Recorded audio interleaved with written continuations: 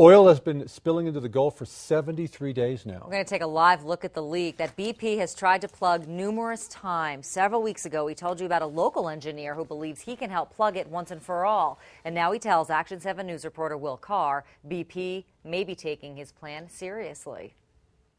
While oil continues to gush from the Gulf, one Rio Rancho engineer continues to believe he holds the solution to the problem. The target should still be shutting it off not slowing it down. Several weeks ago, Stephen Laughlin, a semiconductor field service engineer, told us he had a concept to plug the leak. I'm 100% confident Laughlin's design uses an adjustable gear system that lowers the steel wedge into the hull. The plan does not use any fluids, which would freeze at the bottom of the ocean. But Laughlin told us he couldn't get BP to take the plan seriously. But after our story aired and a piece ran in the Rio Rancho Observer, Laughlin says BP now wants to know more. I'm thinking that some of the publicity at least help him break through the ice, that give some maybe level of credibility that makes them take a second look. On Wednesday, Laughlin received two emails, one from the Louisiana Gulf Oil Response Team, the second from BP, both asking for more information.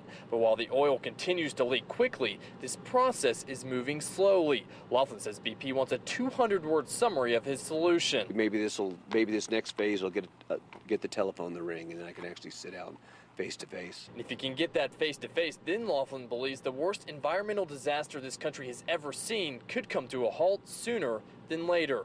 In Rio Rancho, Will Carr, KOAT Action 7 News. Laughlin says he received a number of emails after our story aired. And many people told him he has a viable concept.